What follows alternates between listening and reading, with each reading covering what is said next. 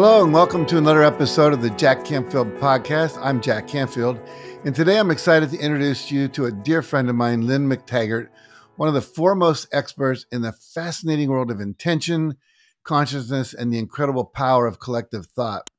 Now, Lynne is an internationally acclaimed best-selling author, researcher, and a true pioneer in bridging the realms of science and spirituality.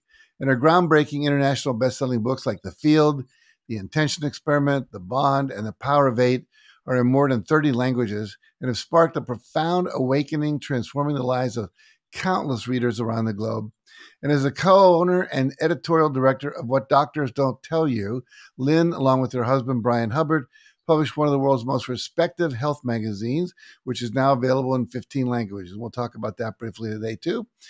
But today we embark on a journey of discovery with Lynne, exploring the science behind intention, the power of collective consciousness, and the transformative effects they have on individuals and communities alike. And Lynne's work teaches us that we are all connected, and by harnessing the power of our minds and collective intention, we can create a world of unity and understanding. So get ready to be enlightened and inspired as we delve into the realms of consciousness and intention with Lynne McTaggart. Lynne, welcome. Thank you. It's great to be here with you, Jack. Uh, it's always exciting to be with you. So let me start by saying that I want people to know that it would take a whole day to discuss all the great things you teach and you know about and the projects that you have going on. But I want to touch on some of the major ones today and lead them to where they can get more information about them if they like. And I hope they will because there's so much valuable information that you have. Now, your work has been focused on the power of intention, consciousness, and the interconnectedness of all things. So let's start by talking about how did you first become interested in exploring these areas and what inspired you to delve deeper into the science behind these phenomena and then to go ahead and, you, and write the intention experiment? I got hijacked, Jack. I was minding my own business as an investigative reporter back in the 1990s. Um, my husband and I had launched what was then a newsletter called What Doctors Don't Tell You, which we had launched because I got ill and only got better after researching what I thought I had, finding a pioneering doctor to work with me on nutritional medicine, and being so inspired by this, and probably so boring on the subject that my husband said, Don't tell me anymore, tell the world. So we started this thing called What Doctors Don't Tell You. And in the process of studying what works and what doesn't work in conventional and alternative medicine, I kept coming across these really good studies of things like spiritual healing. And I kept thinking to myself, wait a minute. If you can have a thought and send it to someone else and make them better, that completely undermines everything we think about how the world works, everything we're told about science.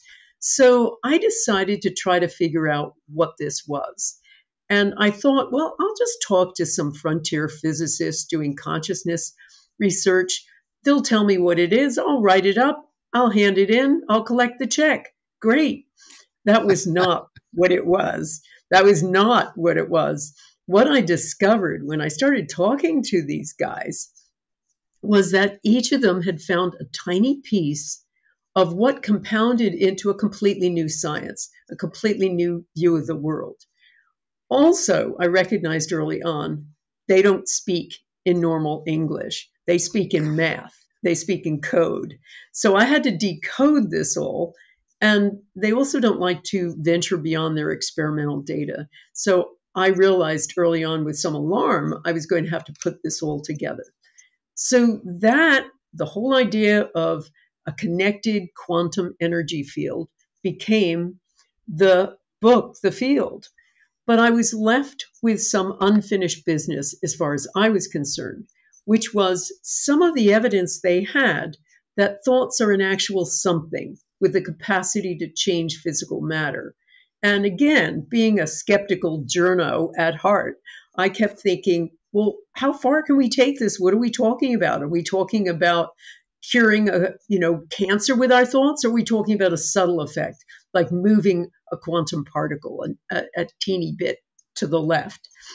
And so I decided to write up all the science about intention, which became my book, but it was also an invitation, which was because I had my book was in 30 languages, the field, and I figured, well, I have a lot of readers out there, not as many as yours, Jack, but I had a decent number of readers out there.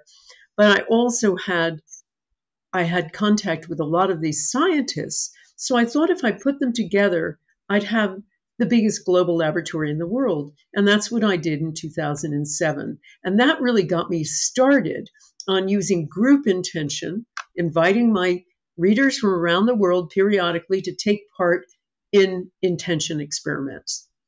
So it, it was, I was hijacked essentially and have never gone back.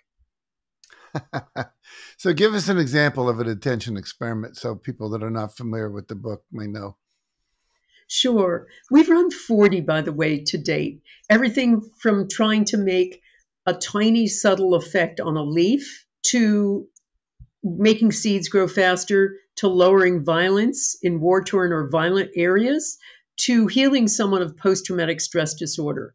I've worked with a number of scientists at University of Arizona, Penn State, Princeton, University of California, and numerous European ones. And of those 40, 36 have shown measurable, positive, mostly significant effects. To give you an idea of what that means, there's no pharmaceutical drug out there with that kind of consistent track record. An example of a really good study we did was trying to make seeds grow faster. We were working with the University of Arizona with Professor Gary Schwartz, a noted psychologist. He and his lab put together four sets of seeds, of 30 seeds each, photographed them, sent me the photographs. They were all labeled A, B, C, D. I was speaking in Sydney, Australia at, at the time. So I invited my audience of about 700 to take part. I had them choose which seeds. Let's say there were seeds A, we held this little intention to try to make the seeds grow four centimeters by the fifth day of growing or something like that. When we were done, we told the scientists we were done, but we didn't tell them which seeds. They planted the seeds. That was their cue to plant the seeds. And then four days later, they measured them, or five days later. And at that point, only after they did their calculations did I unblind the study and say, oh, it was seeds A. And lo and behold, the seed sent intention grew significantly higher than the controls. We ran that five more times from different locations and then with my audience over the internet, thousands of people taking part, looking at the target, focusing on the intention statement all at the same moment. And every single time the seeds sent intention grew significantly higher than controls. Let's unpack this for a second. We are the first time in Sydney, Australia. The seeds are in Tucson, Arizona, 8,000 miles away. Plus, we're not sending intention to the seeds, we're sending intention to a photograph of the seeds, a symbolic representation of the seeds. So we're still having an effect. And we did that with whatever audience I was front, in front of. And that suggested to me a, a number of things, like we're creating this psychic internet when we come together to do a group intention. So that's an example of one. We've also had uh-huh. lots of them lowering violence in war torn or violent areas. And one of the places that was really impressive, I think, in terms of, of demonstrating what we, we did was in St. Louis, Missouri, which is officially the most violent place in America. And we chose a neighborhood, a whole section of St. Louis, which was the most violent of the most violent place in America. This time I was working with Dr. Jessica Utts, who is a noted professor of statistics and has done a lot of work in consciousness research at the University of California. So I with this one, I had my audience, which was broadcast over Gaia. We had my audience around the world send intention to this area for 10 minutes a day altogether uh, over six days. We then got hold of police data from three years before and six months after. And we showed an upward trajectory from the, before the experiment of St. Louis as, the, as a whole, property and violent crime, and Fairground, that was the neighbor of our, our neighborhood. Violent crime and property crime, all going straight up. However, six months after the experiment, St. Louis as a whole, property crime and violent crime continued to go up. Fairground property crime continued to go up. All the neighborhoods around Fairground, violent crime continued to go up. But Fairground itself, violent crime collapsed by 43%. It diminished by wow. 43%. So we've had a lot of experiments like that where we really carefully looked at the data, even in war zones, and we found that we found that kind of an effect. That's amazing. I love it. And I remember the, the, the work that they did with the TM movement, or when they would meditate, and you know, have I think they had like eight thousand people or something like that meditating in India, and the, the whole uh, all the number of wars went down, the number of bombs dropped went down, peace treaties went up. Again, very powerful. So I went to your website and there was a quote there that said, What if you had the power to heal every area of your life and the lives of everyone around you? And then you made the bold claim you already do, but it has been hidden from you. And I think as people are listening to this, think, you know, there are these great intention experiments that involve seeds and neighborhoods, but a lot of people are going like, well, how do I use this in my life? Talk a little bit about that. Sure. That occurred to me in about 2008. I wondered so I'm seeing all this stuff with seeds and leaves and even violence, but what happens if I scale this down to mm-hmm. little groups? What would happen there? And we were doing the first workshop in this, and I didn't know what to do. So I'm kicking this around with my husband, Brian, who you know well, and I'm saying, I don't know, maybe I'll put them in groups of eight or so and have them send healing intention to someone with a health challenge. And my husband's a really good headline writer. And he turned to me and he said, I love it, the power of eight. And that's how the whole thing got started. We were in a workshop in 2008. We put people in groups of eight or so, didn't have to be exactly eight. And we had them send intention to someone with a health crisis. And we thought it was going to be a feel good effect, like getting your back rubbed. So we had them come back the next day and we handed the mic to everyone who'd had intention. And we figured feel good effect, like getting your face, a facial, whatever. And that's not what happened. What happened is they said things like this I have terrible arthritis in my knee. And I remember that person had been limping in to the workshop. And now I'm walking normally. And someone else said, I have depression most days, and today it's lifted. And someone else said, I have cataracts, and they're 80% better. And so I'm kind of freaked out by this because I'm a journalist, not a healer. And I'm thinking to myself, oh, placebo effect, forget that. And I'm ignoring it. I'm thinking this is going to mess up my important intention experiments but I kept my my curiosity was piqued. So I kept experimenting with it. Anytime I had a workshop, I started putting people into groups and I started noticing these extraordinary healings. And I I mean I had uh, two, I've had two people get up out of wheelchairs thus far. One person who was paralyzed from the neck down, the other person with multiple sclerosis. I've had people reverse stage four cancer.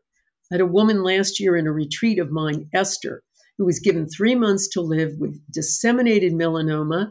And she went into a group, Power of Eight group. I put people into Power of Eight groups.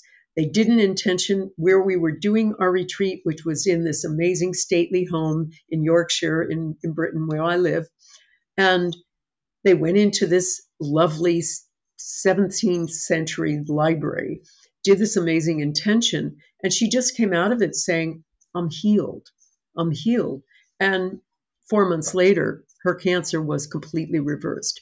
No chemo, no radiation, some alternative stuff, but she credits that moment as being the time she was healed. I've seen people reverse genetic diseases, liver diseases, one woman with one 10 minute intention I've seen all kinds of things. I've seen people find the love of their life after an intention. And I, what I started to do after seeing this for a while, for a few years, and by the way, it took me 10 years to get the courage to write that book about it called The Power of Eight because I was so terrified about what this was. You know, what had I been handed by accident? This power people have. And I better understand a little bit more about it before I start talking about it. And I felt like I'm a kind of gatekeeper here. So I need to know, and I need to know how to tell people to use it wisely. So I kept taking baby steps in those years and trying to figure out why and also what was optimum. And what I started to do was put people into groups for a year. So I thought, well, I'm getting these ex- effects, but what if I put them in small groups for a year and monitored that and taught them what to do and then just monitored would everything in their life begin to heal? And for the people, and now I do this with courses where I work with people for a whole year, and I see an overwhelming majority healing their lives. And that's why I said on my website, you do have the capacity to heal yourself. We all do, but it gets denied by authority figures when we're little, and we stop believing in our own capacity to heal. We also are more isolated than ever before, you know, particularly post COVID. And what I have discovered in my other work is that people need other people. We need community more than we need to breathe. We need community and we need to connect with other people. And I found, even as one of my students, Jerry, put it, when he was meeting with his group over COVID, over lockdown, he said he felt more love than he ever had in his life. I now know what love is, he said. And that is one of the big pieces of it is so that talk, plus talk, a number of other things I think account for these rem- remarkable effects. So people are sitting. I'm sitting here. People are out there sitting here. And I know uh, you've done some healing groups for. We're both members of the Transformational Leadership Council, and we've had people that have had you know health challenges, and you've put together groups where we've had intentions for their healing and remission and so forth. But when you put people into groups of eight and you say they have an intention, what are they intending in this group of eight? They're intending for one member of the group whatever it is they need. So, mm. for instance, in our year long courses, people, some people intend for themselves, they want to heal one of a number of conditions, anything from stage four cancer to a pain they have on their right hip.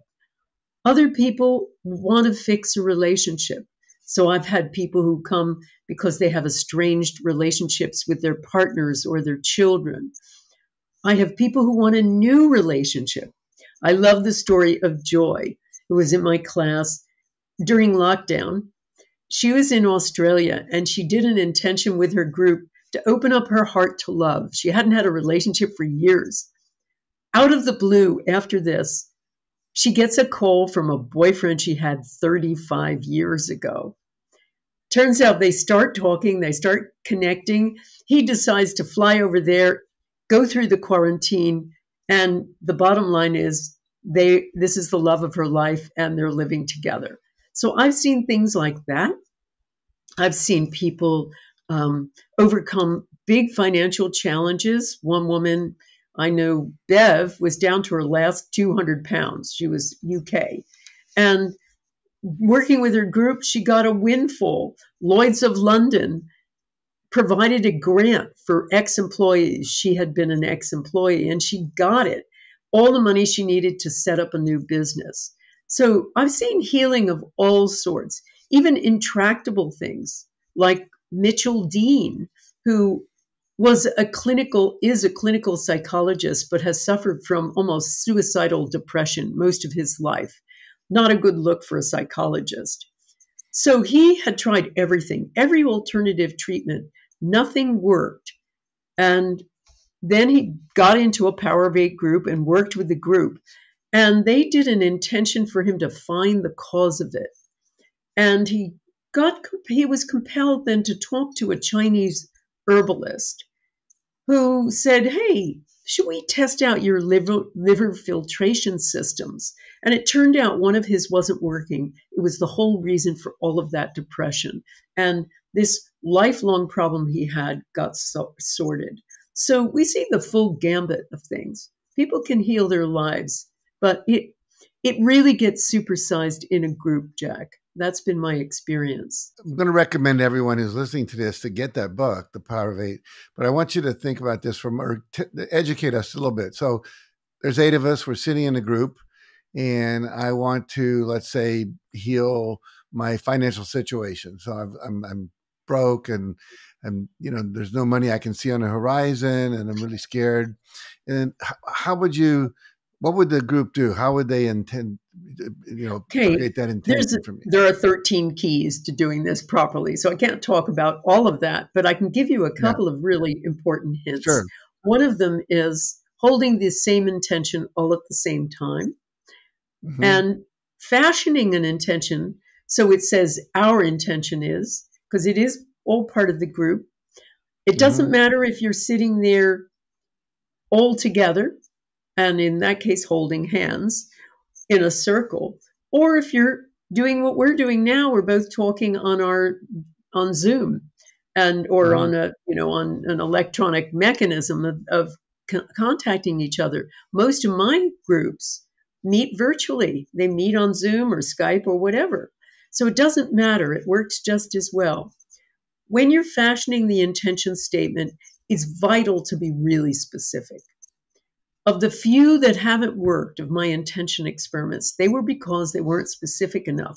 One time we tried to just send love to water, didn't work. Water didn't change. When we said we'd like to move it to become more alkaline by at least one pH, then we got a big result. So it's got to be specific. Don't just say, I need more money. Don't just say, I want to li- I want to win the lottery. I tell people, ask for what you need. Don't ask for some stupid figure and don't intend with the whole group together that we all win the lottery. If you need right. two if you need 20,539 cents, ask for that. Ask for exactly what you need. And the group will hold it all together. They'll imagine you receiving this and you hold it, you only have to hold it for 10 minutes. I know other people who do meditations think you've got to get into the zone, you've got to spend an hour or, or whatever becoming all connected and coherent or whatever. You don't, in my experience. What I've found, and we've done some brainwave studies on this, working with a team of neuroscientists, I found that very quickly, even with novice Power V, intenders who have never done this before, never even meditated before, within a minute or two, the parts of the brain that make us feel separate, they're sitting back here. They're the parietal, parietal lobes. They help us navigate through space. They tell us this is me, this is not me. They are dialed way down. So are the right frontal lobes, the parts of the brain that make us, that are involved in worry, doubt, negativity they're also dialed way down too. So I always assumed that brainwave study, these brainwave studies were going to show that my intenders had brainwave signatures looking just like meditation. And that's what our neuroscientists believe too. It's going to look just like meditation. It looked nothing like meditation. Meditation shows increases in certain brain waves of the brain. Ours were a decrease. Everything was turning down. What they looked almost identical to was work by the University of Pennsylvania, Dr. Andrew Newberg, who did work studying the brainwave signatures of Sufi masters during chanting and Buddhist monks during ecstatic prayer. So these people were in a state of a mystical experience, a state of ecstatic oneness. And I think, having looked at this from every angle, that that's one big piece in it because we don't experience oneness in our lives. You know, we talk about, oh, we're all one and we're all part of the field. Lots of people ask me, how do I enter the field? And I say, you don't need to enter it. You're here. You're in it. This is this is what you are. But we don't experience life like that. We experience life in separation, being lonely little people on a lonely little planet in a lonely little universe. But we get this glimpse during a Power of Eight group, something about it moves us beyond that separation and makes us feel one. And I get that kind of feedback from the people in these groups saying all the time, I wasn't aware of time. I was crying uncontrollably. I had this amazing heat generated. I felt goosebumps up and down my arms. I felt like we were connected to the whole world. Hear it over and over again with the peace experiments and with the ex- intention experiments and also with these smaller groups. That's great. I love it. I'm curious, though, you're probably familiar with the HeartMath Institute research on unwinding DNA. Are you aware of that work? Yes, I am. I am. They they do some great work. I I love HeartMath and I love what they do and how they affect the the vagus nerve. And I'm not surprised about what they've discovered. Well, what I'm curious about is that in that experiment, what I took away from it, and, and you're maybe uh, you know refuting it in a sense, is that they they had people sending the intention for this DNA to unwind, and it didn't. Then they had the people send love or just be in a space of love around it. Nothing happened. Then, when they were in a space of love and gratitude and appreciation, and then it had the intention, the DNA unwound. And I, I took away for that. You had to be in that space of love, appreciation, gratitude, high vibration for the intention to to work. But I think I hear you saying if you get into the space of the intention, it then takes you automatically into that space of oneness. Am I understanding you correctly? Yeah. I mean, I have a more prosaic explanation for probably what happened.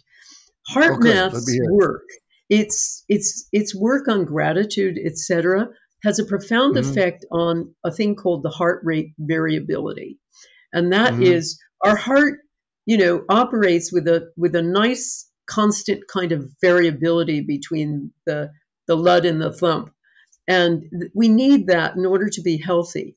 And one of the things that it does is it affects the vagus nerve, which is the longest nerve in the body. It starts in our neck, takes a pit stop at every major organ, and it regulates our sympathetic and parasympathetic nervous systems. And when we are fearful or, you know, we've had trauma of any sort or whatever, that can go out of whack, putting us in a state always of high alert. When it is regulated, meaning we're in a state of gratitude or love or connection, which is what mm-hmm. happens with the power of eight groups. With connection, that same thing also happens. So they use one mechanism to heal the vagus nerve, to affect the body, to affect DNA. The same effect occurs with connection. Work at the University of North Carolina, Chapel Hill, Barbara Frederick, Fredrickson has done a lot of work on group intention and altruism, which is the heart of my work. And she's found that also regulates the vagus nerve, causes that calming, that relaxing, that connection. The, the third part of the vagus nerve is all about connection, love, you know, and and feeling safe. So I think it has to do with their mechanism of gratitude of regulating the vagus nerve that that caused that situation. Very cool. I want to go back to community and, and relationship for a moment. I, I, I got into a thing where I was studying this thing called ikigai, which is uh, this term in the Okinawa. These people live to be 105 years old. They're in the blue zone, and they say that ikigai is made up of no doing something you love, uh, you know, getting good at it, uh, exercise, which they, they all work in the fields and so forth, and then also community. And I, I watched a, a, video recently of these women. They're like 100, 105 years old, like little junior high school girls, just laughing and and being, you know, kind of uh, I think irreverent with each other, you know, and and so forth. And and just I think that relationship thing is so important. And we live in a culture where a lot of people go to work, they don't talk to anyone, they're in their little cell with their computer, they come home, they watch Netflix, they go to bed. And there's a lack of of connection. And I think the the power of eight is putting people in the connection in a way that almost everyone should have a group of eight. I mean, I assume Absolutely. would agree with that. I mean, uh, this was part of one I something I studied in my book, The Bond. I was really asking in that book, was Darwin right? Were we meant to be so competitively individualistic? And the overwhelming answer in the science is absolutely no. The science shows us that we need to belong, as I say, more than we need to breathe. And community, people in community are protected from everything from heart disease to stroke to even the common cold. You know, joining a group just this year, if you join one group, whether it's a book group, a Power of Eight group, any kind of a bowling group, you will have your chances of dying. That's how powerful it is, according to Harvard wow. Harvard research. So we do, we need to belong. And I think that's one of the hearts of a Power of Eight group. Another part we haven't talked about is altruism. When I was trying to figure out why these Power of Eight groups work so well and why they're performing miracles, I started looking at the science of altruism and realized altruism is like a bulletproof vest. People who do things for other people, no matter how trivial, you know, taking out your neighbor's trash, live longer, healthier, happier lives. And also, people who focus unduly on the self are more likely to be depressed, they're more likely to be ill, they're more likely to live a shorter life. And so I started realizing that one of the big pieces here was altruism. That people were healing because they were doing stuff for other people. It was that important. And I started seeing it, Jack, on my intention experiments. One thing we haven't talked about that turned out to be the biggest point of all, I think, with these experiments, as well as the power of eight groups, is the rebound effect, the mirror effect. When people were doing intention, let's say for a peace intention experiment, I surveyed them all afterward, and I found the astonishing statistic that has been borne out every single time that about 40 to 50 percent of people say their lives have become more peaceful. They're getting along better with their partners or their you know children. They're getting along better with their bosses. They're about half say I feel more love for everyone I come into contact with.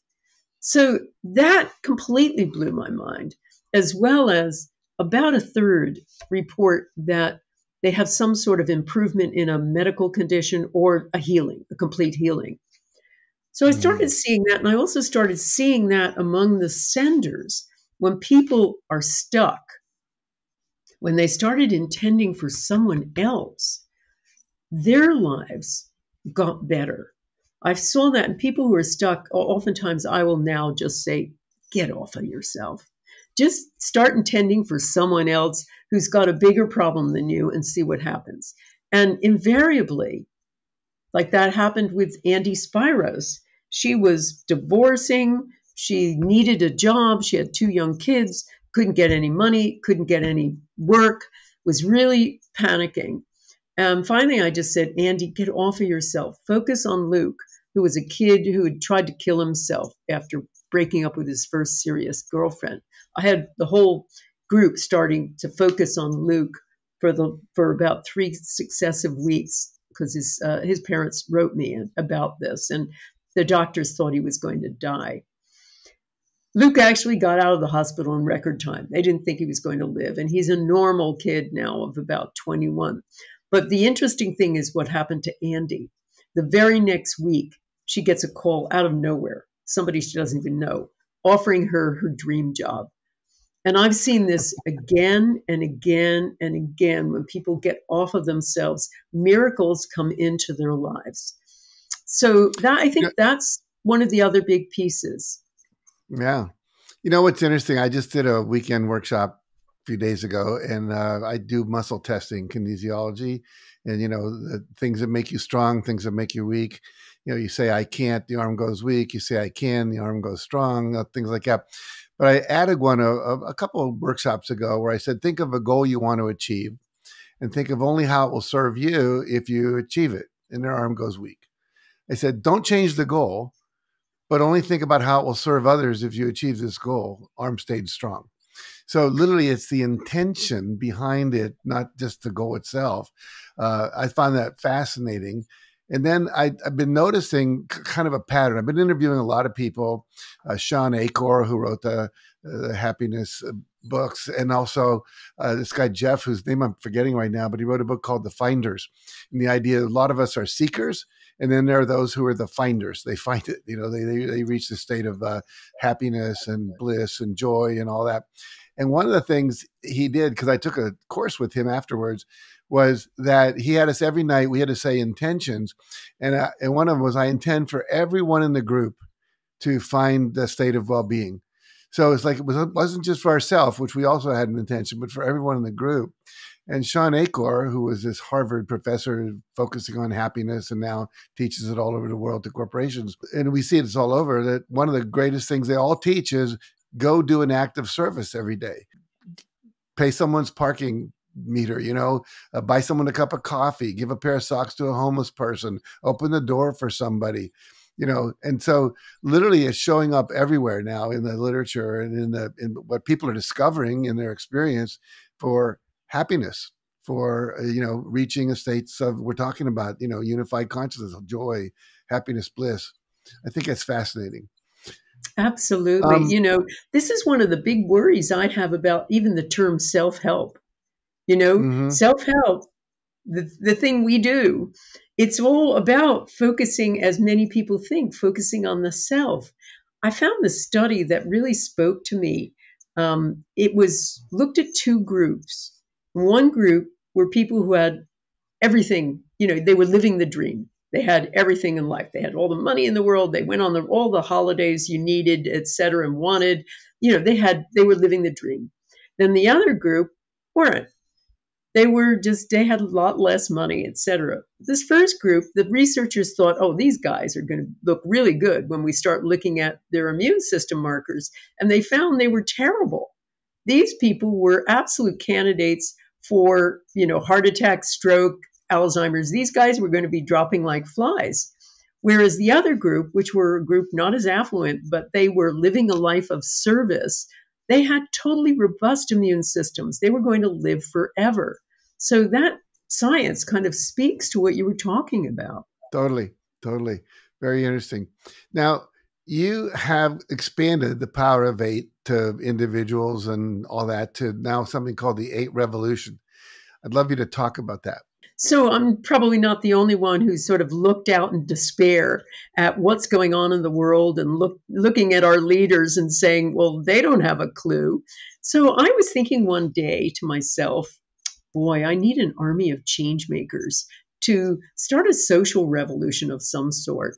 And then I started thinking, well, I guess I have an army of change makers. It's all those tens of thousands of little power of eight groups all around. What if I brought them together and gave them some free tools to start doing this kind of stuff in their neighborhoods, etc. So that's what I've done.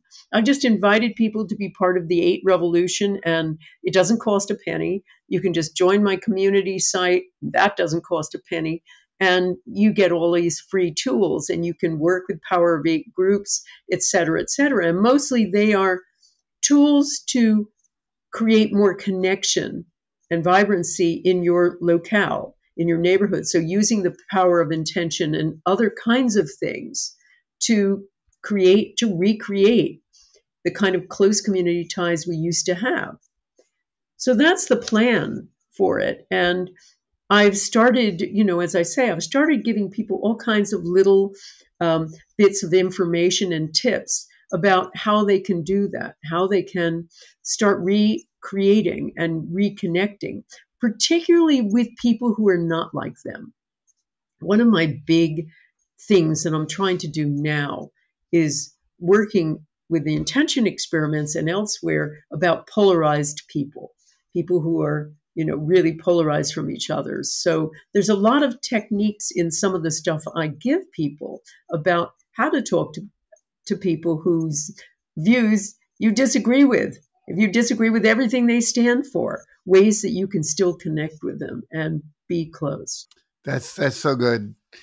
You know, I think that um, I have a friend. He wrote he wrote a book called Avoiding Armageddon, and it was a similar kind of thing where he had people gathering together and sending intentions to leaders like Putin and you know other people like that, sending them love, sending them intentions uh, for their lives to be happier. I I I hadn't planned to talk about this, but I was uh, I did a uh, plant medicine ceremony in uh, in Costa Rica uh, with ayahuasca, and uh, we were asked to um, forgive the unforgivable.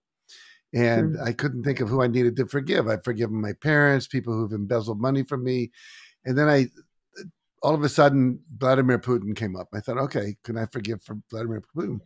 And then the next thing that happened, I, I saw into him and really got what was motivating him was this need to be significant, to make a huge difference in like to rebuild the Soviet Union the way it used to be, so that he would be this historical figure like Napoleon or someone like that. And um, and it was really interesting that to see that, and then to realize that he's a human being just like me. and he's very wounded, obviously, and all that good stuff. But then what I got to see right after that, I walked, uh, my office appeared to me, and I walked in, and there was all these awards. Like literally, it's like a little museum of Jack Canfield and how significant he is. And I realized I was trying to prove to myself I was significant, and um, and so I've, I've dismantled a lot of that at the moment. But I realized that, that we were very similar in, in ways and that I, I could, I'm forgetting the point I wanted to make right now, but the, the idea was that, it, that we have this ability to forgive and to get into a space of love and connectedness and intending for the good. And I, I, didn't know that I could do that with Vladimir Putin, of all people. Um, I know I started out to make another point and I, I lost it in the story. I think that the was idea, the point. It was the idea of connecting with someone who's so not like you, somebody who's so right. odious in the world right. that you can get to a point of real understanding. And you were able to yeah. see inside his, his soul, which was so interesting. Yeah. Yeah, it was interesting. And I, what what happened for me was after that was realizing I don't I would spend a, a, lot of my life trying to prove I mattered. And the reality is I didn't need to do that. I mean, I would have done the same things, you know, because I, I love the work I do, which is training people and opening up their hearts and helping them achieve their vision and live their purpose and get fulfilled and and do some of the work you're doing, which is healing and so forth. Uh, but it, it, it, relaxed something in me. And I think a lot of people, you know, it's this need to feel like I'm okay, that I'm enough. And um, I dropped that. I'm much happier, by the way. well, you know, I think that's something that we're all we're all afflicted with is I matter, particularly in this world where we are so isolated. It's sometimes it's hard to know you matter, and also we're in such a, a society of competitive individualism. Even if you're super successful, there's always somebody who's more successful than you. And, you know, we are so pitted against each other. It's hard not to feel that way. And it's so wise that you get to the point where you're beyond that, which is really brilliant. Everybody, of course, matters.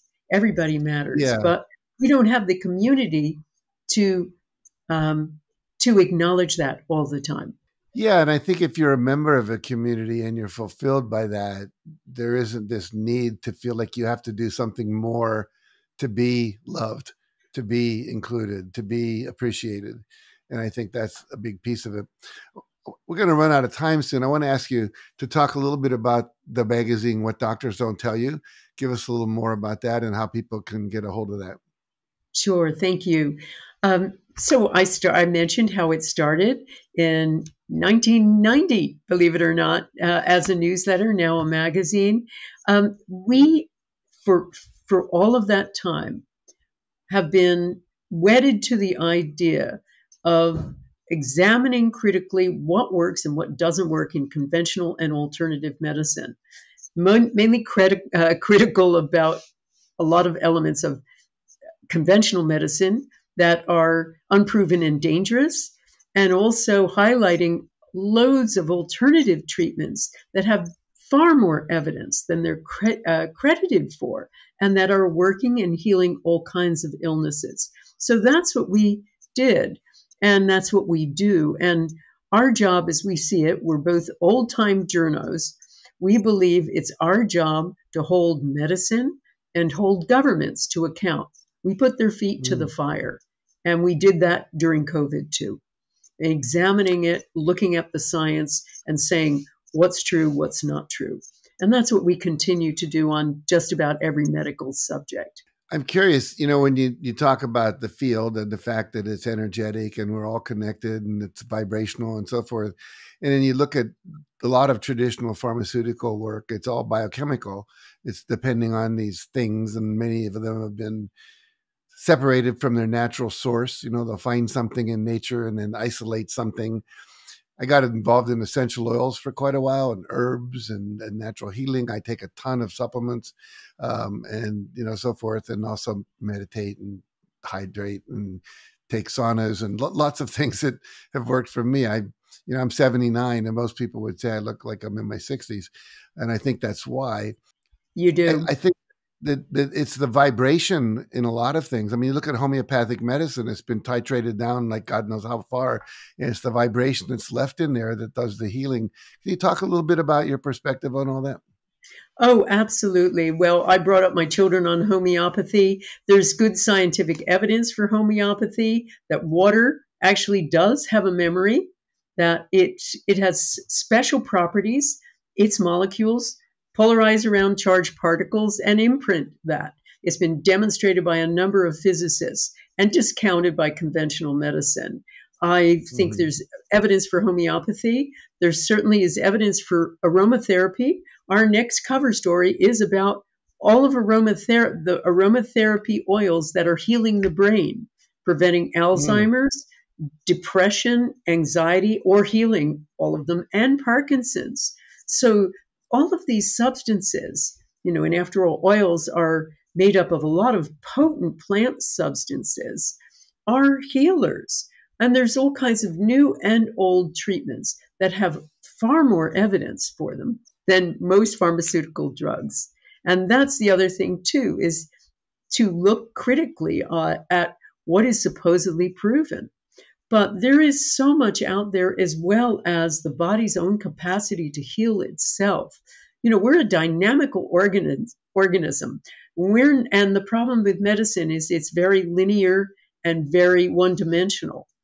When we take a drug, it doesn't just slot into slot B, it slots into slot C, D, E, F, G. We're all interconnected in our bodies. So I think that's one of the problems with medicine now. It's not sophisticated enough to look at the brilliant dynamism of the human body and how it can, when you give it the right tools, the right food, as you're doing, the right supplements, as you're doing, the right exercise, detox, all of that, it keeps itself together. It's like those 103 year old ladies out there in in um, Okinawa.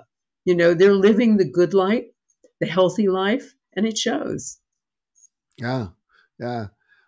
Well, we'll put all this stuff in the show notes, but if you uh, want to get a hold of this magazine, which is radically cool, uh, wddty.com.